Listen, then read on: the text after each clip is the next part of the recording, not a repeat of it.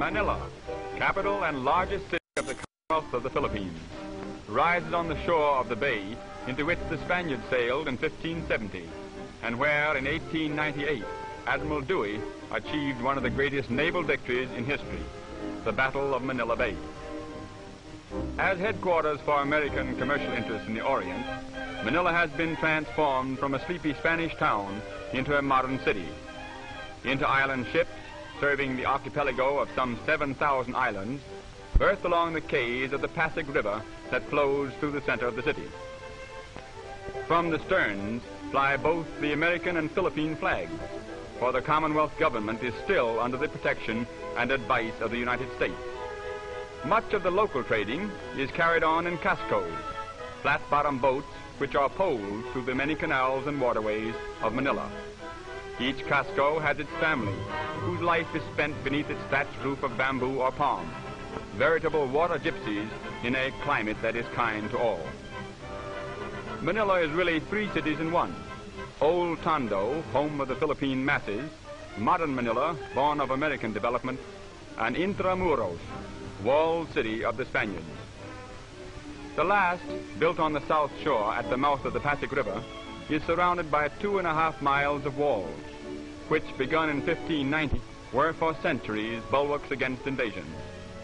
The moat encircling the walls was filled in for sanitary reasons by the Americans and is today a drill ground, a recreation area, and a golf course.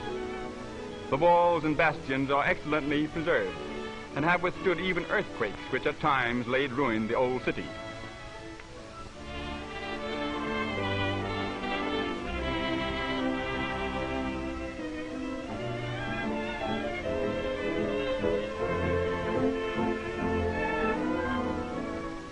In the bastion of the Royal Gate is Manila's famous aquarium. The Parian Gate is the most notable of the city's five, which until 1852 were all closed at night. Within the walls, little has changed since the days of Spanish rule. The main shopping street, Calle Real, chiefly catering to tourists, presents a picture of busy activity and colorful traffic. The projecting balconies and grilled windows are reminders of old Spain.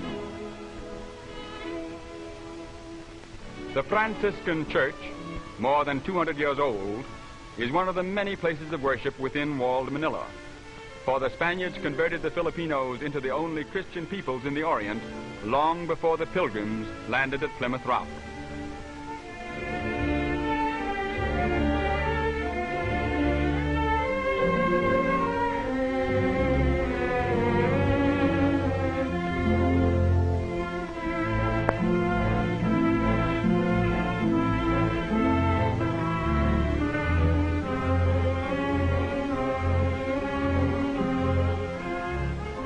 A bodice with huge sleeves of cloth made from pineapple plants and a long skirt, the train of which is tucked into the front of the belt, is the typical dress of Filipino women. Facing quiet McKinley Square is the cathedral, built in Byzantine style a little more than 60 years ago as a successor to other cathedrals destroyed by earthquake. On the north shore of the Pasig River is Tondo, the oldest and most densely populated quarter. Here the masses live, and here also is the modern business area of the city. In this section are the greatest contrasts. Fine skyscraper office buildings and banks among crumbling thick wall ancient structures. Broad straight streets and narrow crooked ones. Canals teeming with boat activity and paved streets with modern traffic. Traffic in all parts of Tondo is heavy and difficult to control. With swiftly moving autos abreast caromatas, the two-wheeled native conveyances drawn by active Philippine ponies.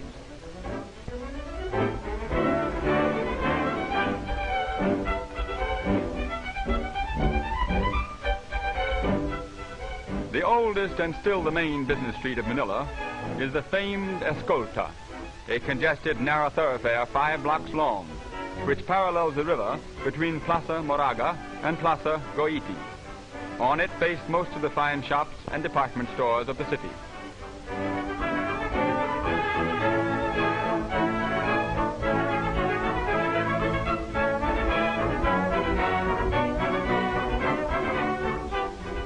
Another important thoroughfare is Rizal Avenue, named in memory of the great hero martyr, Dr. Jose Rizal, who was executed by the Spaniards in 1896, two years before the coming of the Americans.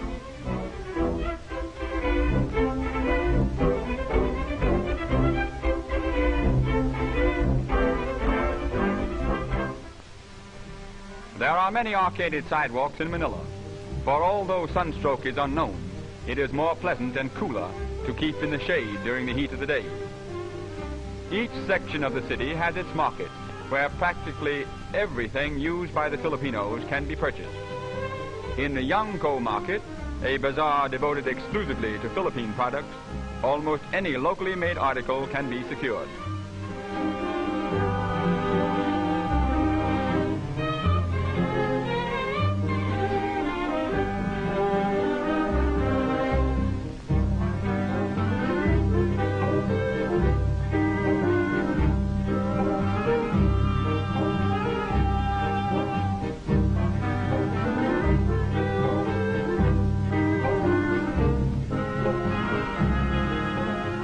The two-wheeled caromata and caratella are the principal conveyances of the Filipinos. These carriages accommodate two and six persons respectively. Little straw protectors are placed on the wheel when the passenger mounts or descends.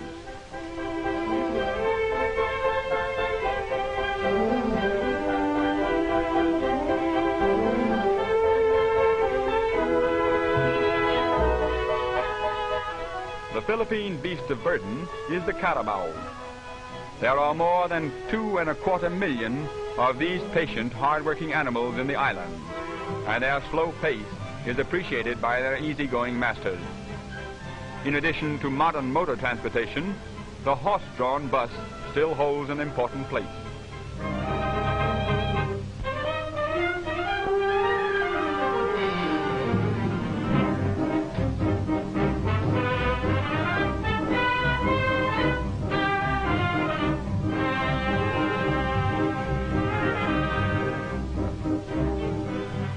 The Pasig River is spanned by four bridges. Jones Bridge, surmounted by Filipino figures, is the newest.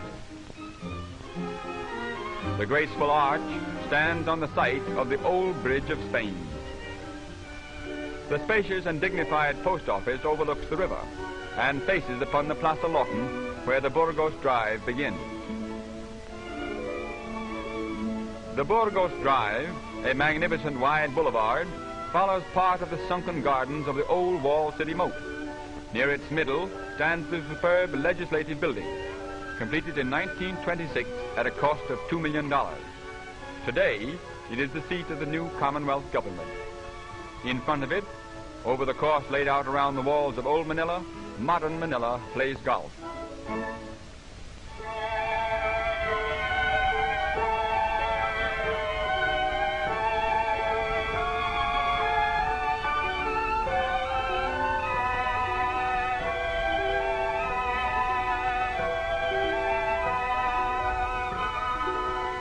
Residential section where many beautiful homes and the best hotels are situated is Ermita. The famous Manila Hotel overlooking the bay is one of the finest air-conditioned hotels in the tropics. In Ermita are also the buildings of the University of the Philippines, a government institution which embraces wide fields of learning and offers excellent educational opportunities to all. Contrasting greatly with the narrow, irregular dirt streets of Spain's Manila are the wide, well-paved avenues and boulevards of the American city. Great shade trees overarch many of the avenues, and palms or colorful flowering trees line other arteries. Dewey Boulevard, the pride of Manila, is built upon reclaimed land along the shores of the bay, an ideal location for the many residences of which the city boasts. Among them is that of the American High Commissioner. The spacious house with its gardens and patio is often the scene of social splendor. Situated on the north bank of the Pasig River are the executive offices and home of the President of the Philippine Commonwealth. In a mansion built as the suburban residence for Spanish governors, a Philippine chief executive now directs the home government of his island commonwealth, an archipelago fast changing from a dreamy Spanish colony to a modern agricultural, industrial, and independent country.